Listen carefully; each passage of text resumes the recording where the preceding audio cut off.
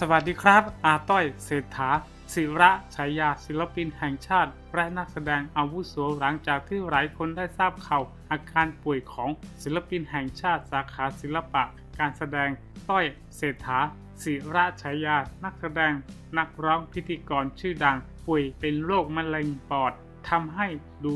สู้ผอมไปกว่าปกติ และจำเป็นจะต้อง พักงงานในวงการบันเทิง ล่าสุดมีความเคลื่อนไหวของศิลปินอาวุโส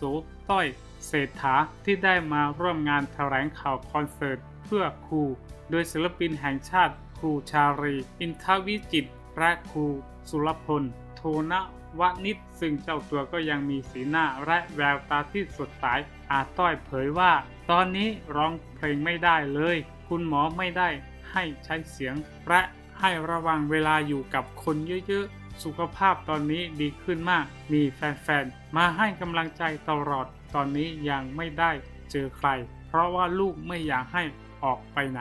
สำหรับขั้นตอนการรักษาทำคีโมมาแล้ว 15 ครั้ง มีผลกระทบบ้าง มีอาการมึนๆยา ไม่อยากรับประทานอะไร ก่อนหน้านี้ผอมมากน้ำหนักลดเหลือแค่ 50 กิโลกรัม จากเดิม 62 กิโลกรัม แต่ตอนนี้ก็น้ำหนักเพิ่มขึ้นมาแล้วเป็น 55 กิโลกรัม